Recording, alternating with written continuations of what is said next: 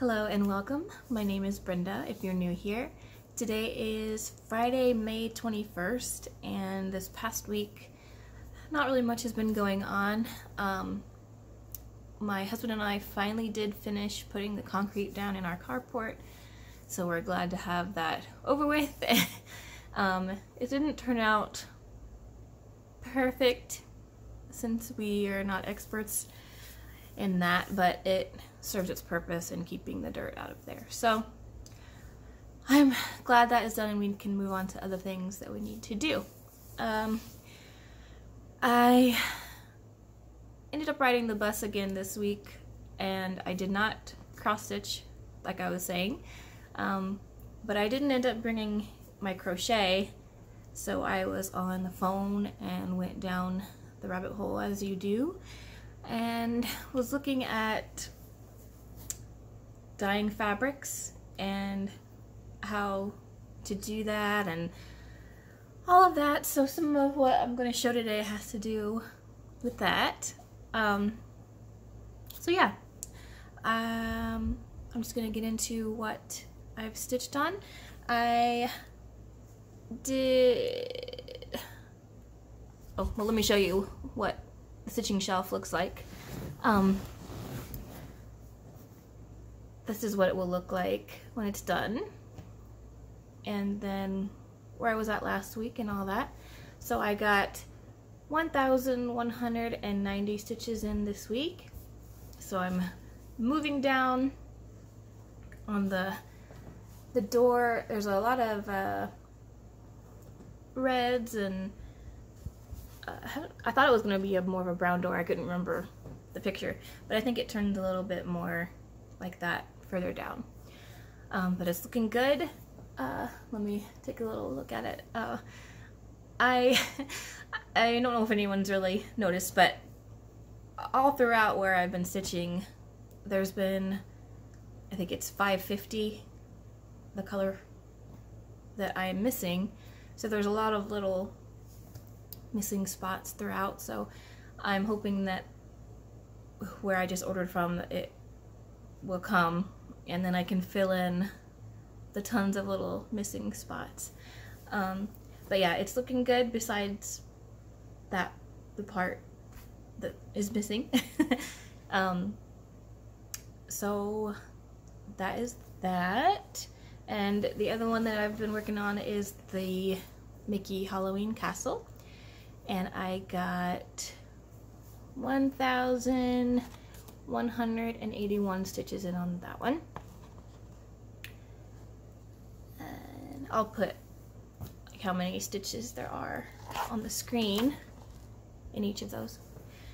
So I,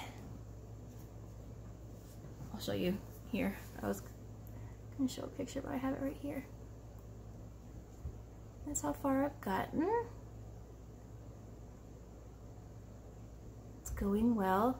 Here's the back in case you're interested in what that's looking like You can tell I was doing, that's when I was going to do it on the bus, so I pre-did half little tent stitches and then went back, so that's why it looks different than it does below that.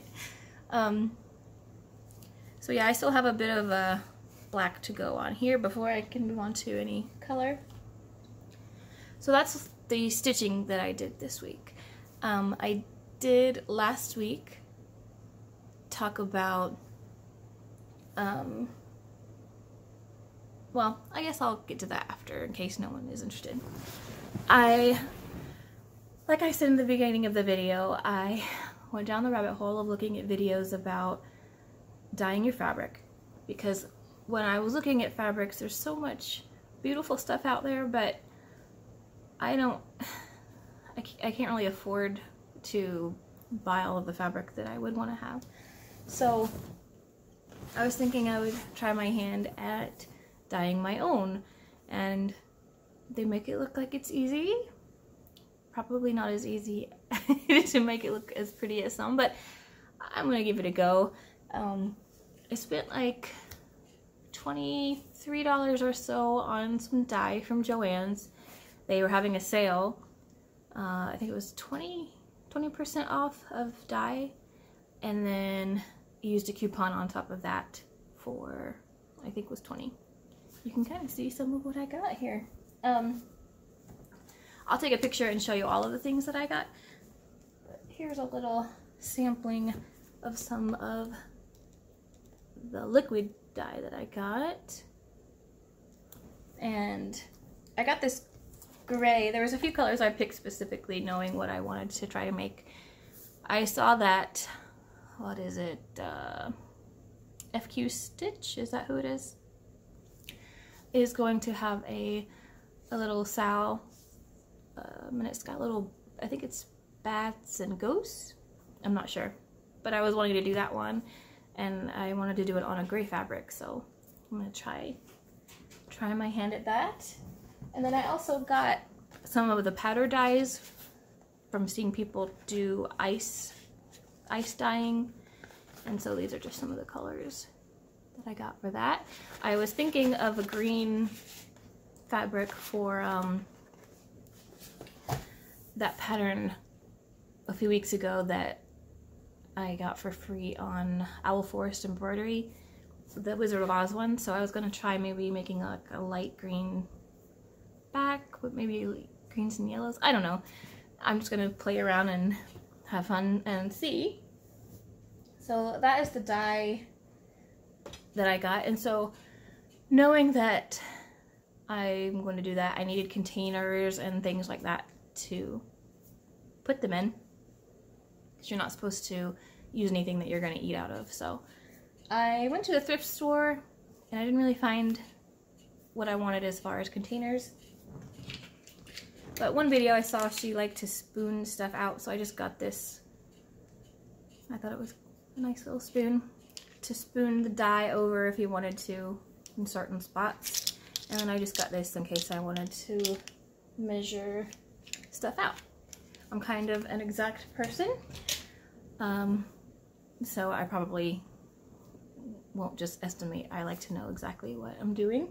So I got those two. And then I went to the Dollar Tree and got a couple, I got these gloves.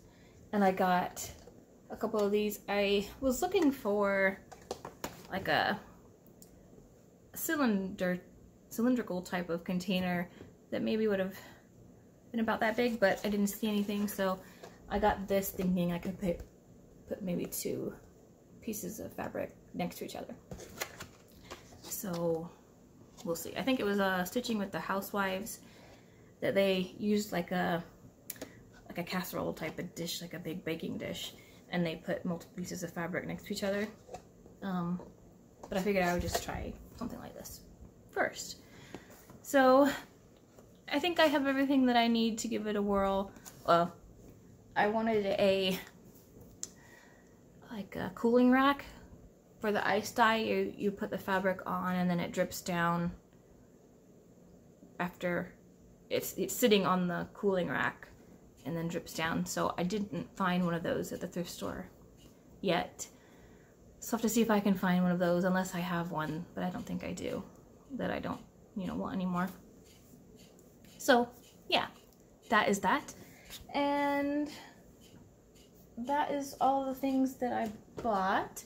And then, like I was saying earlier, last week, or that I started to say, last week I had mentioned that I wanted to try getting some crochet done. Sorry, the light's kind of getting a little cloudy out there. Um, so I did start. He looks a little funny right now because he's not, he's not ready. But here's the beginning of a Jawa. I've never used these little safety eyes before, so it was kind of cool to see that. I bought some before, but I didn't have like a specific plan in mind for them, so I haven't used them yet. But since these are the proper size and everything. So yeah, this is the start of his little outfit. And then he's gonna have I threw away the box. Um, the book's over there somewhere, but he's got, he's gonna have little fuzzy, and then he's little outfit and all that. So I'm planning on getting some more of that done before next week. Uh, he has like a little hood and stuff. Um, I enjoyed making that, but I have wrist problems and unlike cross stitch, which I'm really glad doesn't trigger those issues, the crochet, or maybe I just need to loosen up a little bit on it. Um, it really starts to make my wrist a little tender. So I can only do a little bit at a time. So we'll see how far I get. I don't know.